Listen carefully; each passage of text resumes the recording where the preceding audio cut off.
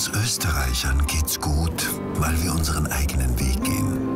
Wenn's ein bisschen schwierig wird, sagen wir, das geht schon irgendwie. Mit Menschen, die uns ans Herz gewachsen sind, gehen wir durch dick und dünn. Und wenn wir einmal gar nichts tun wollen, dann gehen wir auf ein Bier. Und zwar auf das Beste. Gut, besser, gösser. Österreichs bestes Bier. Badespaß unabhängig vom Wetter. Aqualux Therme Fonsdorf macht's möglich. Auf drei Ebenen bietet die Therme des Lichts, wie sie genannt wird, den Gästen jede Menge Erlebniswelten. Aber auch die Ruheoase für Entspannung und Erholungssuchende ist ein begehrtes Platzerl in der Aqualux Therme Fonsdorf. Das ausgezeichnete Gastronomieangebot vervollständigt das Aqualux Badeerlebnis. Badespaß für die ganze Familie. Aqualux Therme Fonsdorf. Die Firma Juri ist ein Unternehmen der Rohrer Group mit Sitz in Nickersdorf bei Leoben und ist spezialisiert auf Industriereinigung, industrieller Gerüstbau, Wärme, Kälte, Schall- und Brandtechnik-Isolierungen. All diese Leistungen bietet Firma Juri Industrie- und Privatkunden an. Juri, der Partner in der Umwelttechnik mit Standort in Nickersdorf.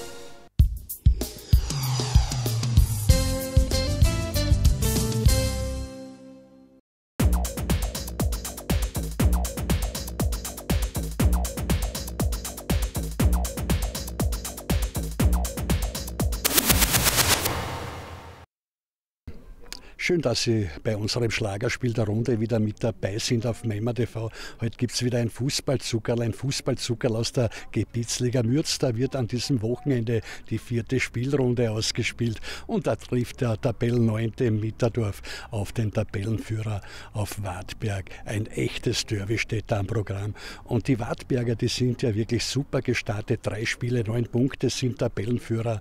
Aber ein Derby hat eigene Gesetze und das wird sicher heute ein heiß heiß umkämpftes Spiel. Schauen wir uns das gemeinsam an. Volksfeststimmung in der Mitterdorfer Au. 400 Zuseher sind zu diesem Derby gekommen. Da ging's so richtig rund. Mitterdorf präsentiert mit Elektro Kammerhofer stolz einen neuen Hauptsponsor. Gepunktet haben die Mitterdörfler ja schon vor dem Derby. Die Mitterdorfer, die haben einen neuen Hauptsponsor an Land gezogen. Warum sponsert man einen Fußballverein? Der Hauptgrund meines Sponsorings für, meine, für den Sportverein Mitterdorf ist natürlich das, dass ich den sportlichen Erfolg sehr liebe für Mitterdorf. Ich habe meine Jungs sehr gern. Ich hoffe, dass sie natürlich ein sehr gutes Spieljahr erleben 2012, 2013. Ich wünsche Ihnen auf diesem Weg alles Gute. Ich hoffe, dass ich einen kleinen Beitrag damit äh, beitragen kann äh, mit meinem Sponsoring und wünsche Ihnen wirklich nochmal alles, alles Gute. Wie wird dieses Derby heute ausgehen? Also mein Wunsch ist natürlich ein Heimsieg meiner Mannschaft, aber ich glaube, das Gerechteste wäre ein, ein super Spiel, ein faires Spiel, dass sie die Buben einhängen. Ein, ein X wäre für uns Mitterdorfer schon ein Erfolg, weil die Wartberger zurzeit sehr starke, äh, eine ganz starke Mannschaft haben. Mitterdorfs Obmann Werner Dick bedankt sich mit einem Präsent für diese Sponsortätigkeit. Ja, Im Namen von Sportverein Mitterdorf möchte ich Herrn Loeger Franzi dieses Bild überreichen und mich nochmals bedanken, dass er die neue Hauptsponsorschaft übernommen hat. Auch die beiden Bürgermeister Walter Berger und Wolfgang Butsche freuen sich schon aufs Match. Wie das Match heute ausgehen wird, ist schwer vorauszusehen. Ich wünsche mir ein faires, interessantes und vor allem abwechslungsreiches Spiel und ich glaube, der Bessere soll letztendlich als Sieger vom Platz gehen. Ja, mein Kollege hat zwar eh schon alles gesagt, aber ich sehe das auch so und das Derby hat immer eigene Gesetze. Und ja, rein von der Tabellenform her müsste Wartberg gewinnen. Aber wie gesagt, ich hoffe, unsere können den Heimvorteil nützen und wichtig ist, dass wir ein schönes und faires Spiel sehen. Wartberg ist ja als Tabellenführer Favorit, spielt in Rot-Schwarz. Spielleiter heute Manfred Paul aus Judendorf Straßengel. In Minute 2 gibt es gleich einen guten Wartberg-Angriff und einen Roposch-Schuss. Roposch verzieht, der Schuss kollert am langen Eck vorbei. Mitterdorf versucht es auf der Gegenseite mit Freistoß. Ulm im Gästetor hat da kein Problem. Aber man merkt's gleich zu Beginn. Wartberg ist gut motiviert, auch spielerisch gut drauf, hat heute viel vor. Ropposch vergibt da guten Sitz, erhebt er übers Tor. Und nach Ropposch Vorarbeit vergeben die Gäste die dritte gute Möglichkeit. 15 Minuten gespielt, Spielstand noch 0 zu 0. Uwe Leskowsek Wartberg versucht's da mit gutem Freistoß. War nicht schlecht angetragen, der Ball. Backernde Duelle gibt's einige bei diesem Derby. Mitterdorfs Markus Stix setzt sich da mit gutem Weitschuss in Szene. Die Chancenauswertung, die passt noch nicht bei der Baumann-Truppe. In Minute 28 wird der vierte große Sitzer vergeben.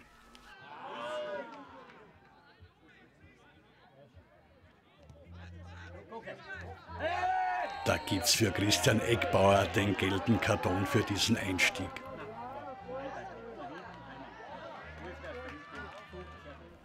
Christian Ulm hat heute nicht viel Arbeit, holt sich diesen Flankenball aber sicher aus der Luft. Spielerisch gibt's vor der Pause nicht mehr viel, an Härte wird ein bisschen zugelegt, das Match aber trotzdem fair geführt. Knapp vor der Pause gibt es für Matthias Rieger gelb-rot in Minute 43. Das ist bitter für Mitterdorf. Der Ausschluss spielt natürlich Wartberg gut in die Karten. Mit einem 0 zu 0 geht's in die Pause. Wartberg war erste Hälfte überlegen, nur im Abschluss hat's gehapert. Mitterdorf hat sich nach mäßigem Beginn gut erfangen. Am Mittwoch gibt es ja das WM-Qualispiel Österreich gegen Deutschland.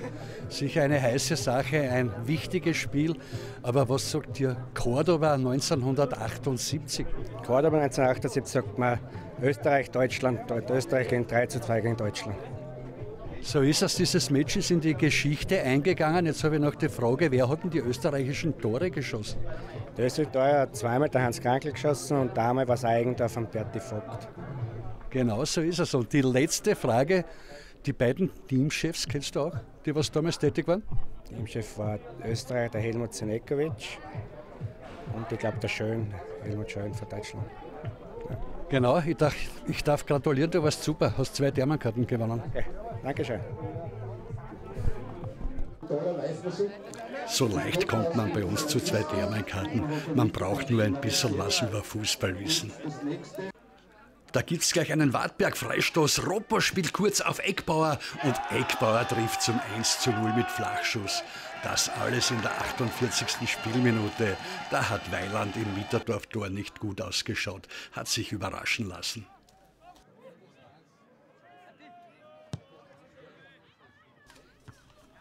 Stefan Dick antwortet da auf seine Weise, holt sich gelb.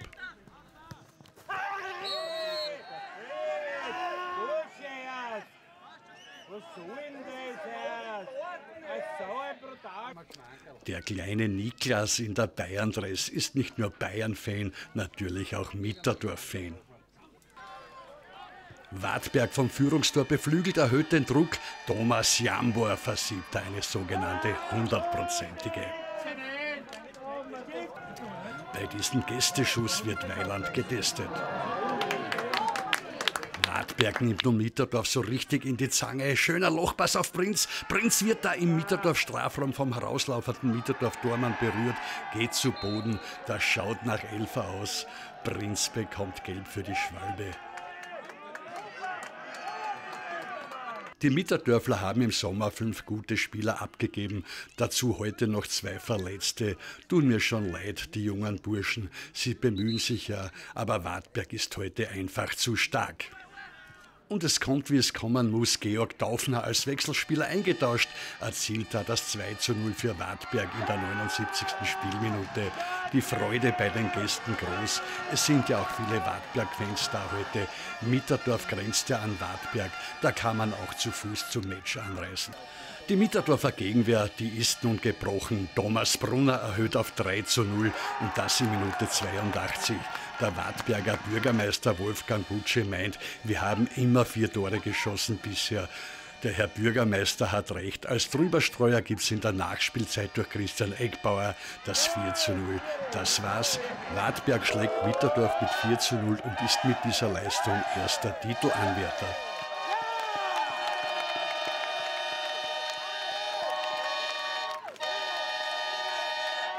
Erwin Fuchs, wie weh tut diese Derby-Niederlage? Ja, sie tut schon weh, aber wenn man, wenn man vergleicht, äh, was Wartberg äh, Leid gekauft hat, äh, ja, macht schon viel aus, das Geld.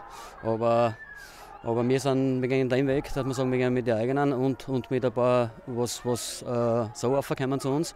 Wir gehen den Weg, weil äh, das ist sicher für die Zukunft mehr, als wir, das, was den Weg, was Wartberg geht. Dass man nur allein kauft, weil ich glaube, ich bin in Wartberg nicht mehr, nicht mehr gar so viel Wartberger in der Mannschaft drin. Aber tut weh, brauchen wir gar nicht diskutieren, die, die, die Heimniederlage, wenn es so ausfällt. Aber eins kommt dazu, für mich war ausschlaggebend die rote Karten, die gelb-rote Karten von, von Regler.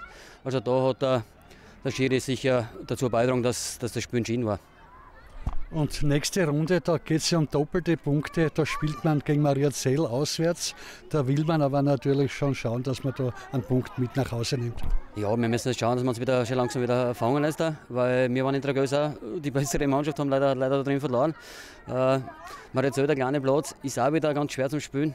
Aber ich bin überzeugt davon, jetzt schauen wir die Wochen, dass wir gut trainieren und dann werden wir das sicher wieder hinbringen. Gratulation zu diesem 4 zu 0 Derby-Sieg. Heute hat alles gepasst, kann man sagen. Ja, danke mal vorerst. Ich glaube, das war heute ein typisches Derby. Äh, das, was wir uns vorgenommen haben, haben wir heute nicht so umgesetzt. Äh, wir sind nicht so ins Spiel gekommen, weil einfach, ja, wir war aggressiv. Und ich glaube, dass der, der Ausschluss durch das haben wir dann ein bisschen Oberwasser gekriegt. Und über 90 Minuten, glaube ich, war es verdient. Mit einer besseren Chancenauswertung wäre sogar ein höheres Resultat möglich gewesen. Ja, wir haben jetzt die ersten drei Spiele haben wir jeweils vier Tore äh, geschossen und äh, wir haben da schon Chancen gehabt und ja, da müssen wir dran arbeiten. Aber es gibt im Endeffekt gibt's drei Punkte und derzeit äh, sind wir stolz drauf, vier Siege und mit denen können wir umgehen. Du sagst es, vier Siege, vier Spiele, zwölf Punkte. Ich glaube, da spekuliert man schon mit dem Titel. Nein, bei uns ist es so, wir schauen Spiel zu Spiel. Wir wissen, wir haben eine sehr gute Mannschaft, wir haben an Qualität dazugekriegt, aber es muss einfach, als Master muss alles passen und ich hoffe, es geht so weiter. Der Christian Eckbauer spielte heute eine gute Partie und ist natürlich hoch erfreut über diesen Sieg. Ja, auf jeden Fall, auf jeden Fall war es ein schweres, schweres Match. Erste Halbzeit sind wir eigentlich gut ins Spiel gekommen. Das Einzige, was nicht passt hat, war die Chancenauswertung wieder mal. Das ist noch ein bisschen unser Problem. Aber ja, es passt einfach, wir geben bis zum Schluss Gas und irgendwann bricht dann meistens der Bahn. Jetzt in den letzten vier so und dann geht es dahin, es läuft einfach, kann man sagen. Was zeichnet denn die Mannschaft der Wartberger überhaupt im Gesamten aus?